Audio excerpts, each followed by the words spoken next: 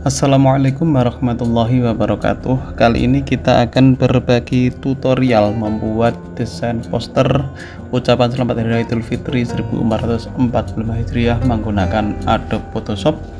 Langsung saja kita ikuti tutorialnya. Yang pertama kita membuat file baru. Di sini kita menggunakan ukuran persegi yaitu 10 kali 10 cm dengan resolusi 300 pixel per inci kemudian kita buat warna backgroundnya. Kita pilih di sini. Menggunakan merah marun agak ke pink ini ya. Pink tua seperti ini. Selanjutnya menggunakan paint bucket tool. Kita tumpahkan pada area kerja. Berikutnya gunakan elliptical tool kemudian di sini tekan shift pada keyboard agar ukurannya proporsi menjadi sebuah lingkaran. Nah kemudian di sini kita posisikan di center. Setelah itu gunakan radius atau feather ya gunakan feather klik kanan feather gunakan feather radiusnya sekitar 200 kemudian kita klik OK. Selanjutnya kita select invest agar seleksinya di luar. Nah, kemudian kita buka layernya gunakan layer baru membuat layer baru klik di sini. Setelah membuat layer baru kita kasih warnanya menjadi hitam. Kembali gunakan magic wand tool. Kita klikkan pada area yang terseleksi. Nah hasilnya seperti ini. Kemudian hilangkan seleksinya dengan select deselect Nah, gunakan Ctrl T untuk memperbesar atau free transform ya, untuk memperbesar posisinya ini. Kita perbesar seperti ini. Kalau sudah bisa dicentang. Selanjutnya untuk opacity-nya kita buat sekitar 50 agar warnanya terlihat apa ya, ini lebih menyatu dengan background. Kemudian kita siapkan untuk ornamen-ornamennya di sini nanti sudah disiapkan juga di link yang ada deskripsi box untuk mendapatkan ornamen ini sekaligus desainnya. Kita tarik pada area kerja seperti ini taruh di bagian luar. Kemudian di sini yang bisa kita lakukan kelanjutannya apa ya? Ngasih ini masukkan ornamen masjid. Nah kita ambil di bagian sini saja diseleksi bagian sini saja. Setelah itu gunakan move tool kita tarik pada area kerja. Nah kemudian kembali diperkecil dengan free transform. Kita cari sudutnya kemudian kita perkecil. Nah kira-kira seperti ini. Kalau dirasa posisinya sudah cukup kita bisa centang kemudian di sini kita duplicate. Dengan cara klik kanan duplikat layer. Nah layer yang ke yang di bawah ini kita tarik pada posisi ke kiri. Kemudian gunakan image adjust with saturation. Nah kita ubah warnanya menjadi yang lain. Misalkan nah, seperti ini warna ungu kemudian kita duplikat lagi yang ini. Kita duplikat layer. Nah layer yang bawah kita tarik di bagian kanan. Nah setelah itu kita ubah juga warnanya image adjust with saturation. Kita gunakan warna lain. Nah seperti ini agak kehijauan. Nah kalau sudah mungkin posisinya kita ubah lagi juga nggak apa-apa disesuaikan kira-kira yang baiknya bagaimana. Nah kalau sudah seperti ini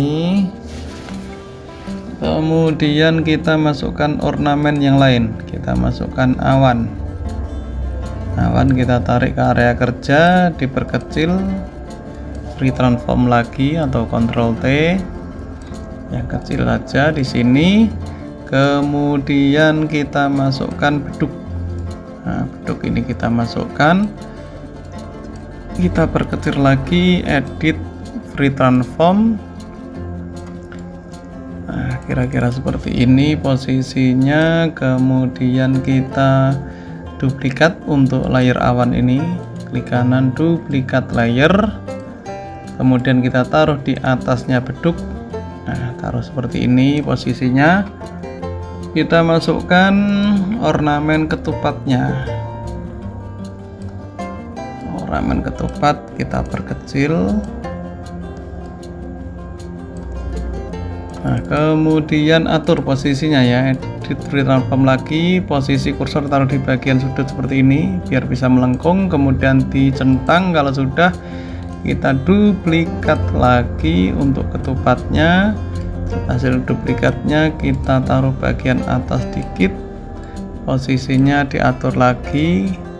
Nah, diperkecil. Kira-kira segini sudah cukup. Kemudian mungkin awannya kita taruh atasnya sini ya. Nah seperti ini. Agar apa ya kayak menyatu ini ya. Kemudian yang belakang ini kita duplikat lagi awan belakang kita duplikat taruh di bagian sini. Nah kira-kira posisinya seperti ini sudah cukup. Terus mungkin bentuknya kita ganti warnanya. Just wish saturation kira-kira seperti ini. Kalau udah bisa di oke okay, selanjutnya yang kita bisa lakukan memberikan tag ke sini. Kita gunakan tag fontnya gunakan font apa ini ya? Uh, ini aja. Bah serif apa nih bah serif ya. Terus warnanya gunakan warna putih.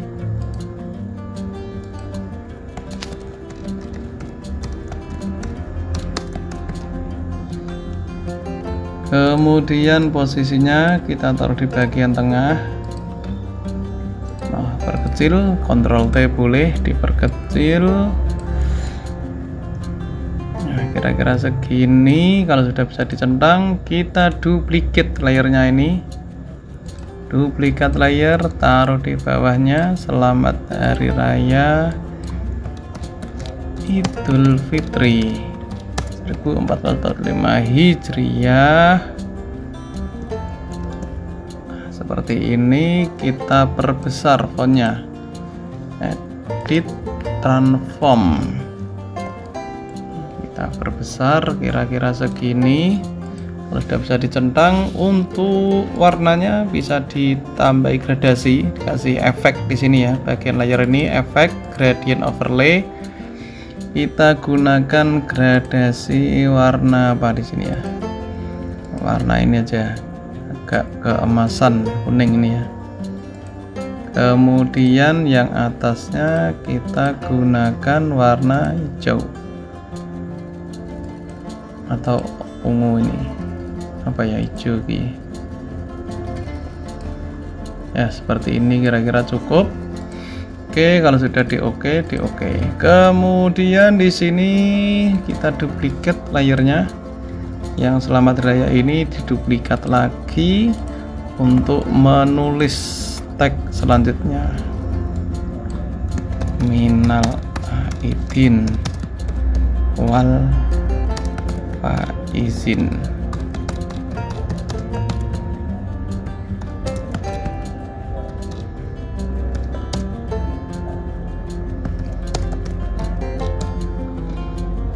Kira-kira seperti ini. Kita bisa atur lagi posisinya. Kalau dirasa cukup kita kasih apa ini ya? Ya ornamen yang lain lah. Kita kasih kayak bintang-bintang kecil. Gunakan custom shape. Kemudian fillnya kita kasih putih. Terus ini bintang. Ya pilih yang bintang.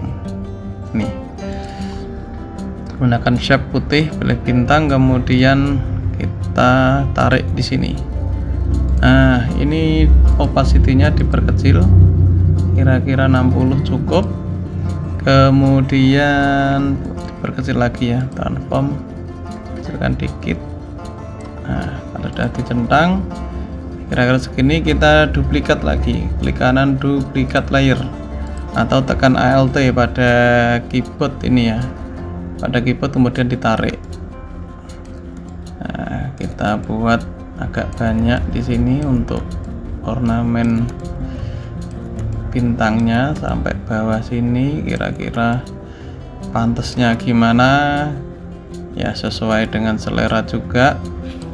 Nah kalau sudah cukup kita jadikan satu layer bintangnya ini biar tidak banyak layer tekan shift kita tarik sampai bawah klik kanan merger shape nah kasih nama bintang Nah, kalau sudah seperti ini, kita ini kasih link di bawah ini bagian apa untuk promosi ya. Di blok dulu menggunakan rectangular marquee tool. Nah, seperti ini kita gunakan layer baru taruh paling atas. Warnanya samakan dengan ini aja. Terus kembali gunakan pen packet tool kita tumpahkan di sini. Hilangkan seleksinya select di select kemudian linknya ini yang sudah kita siapkan dimasukkan.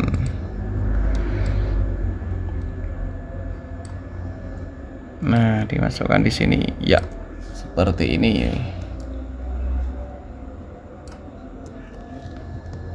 atur posisinya ditaruh di bawah ini nanti tinggal ubah saja.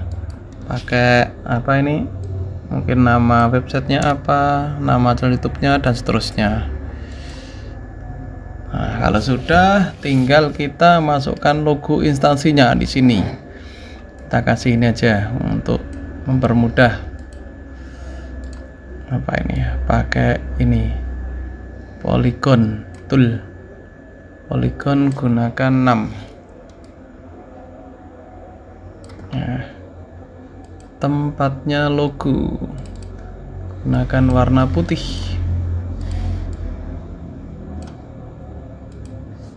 Tulisi logo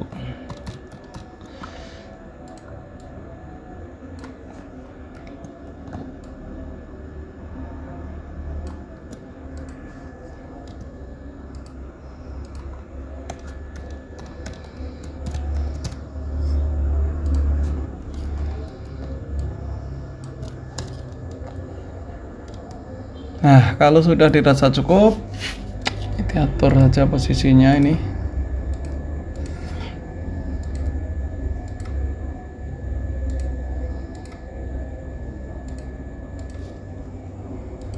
Oke ya, kalau sudah dirasa cukup, bisa mungkin diatur-atur lagi ya. Ini layernya dicek, opacity-nya bisa ditambah.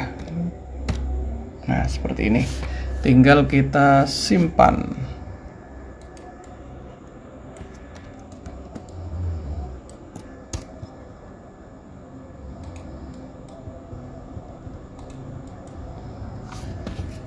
Simpan filenya ke dalam Adobe Photoshop dan JPEG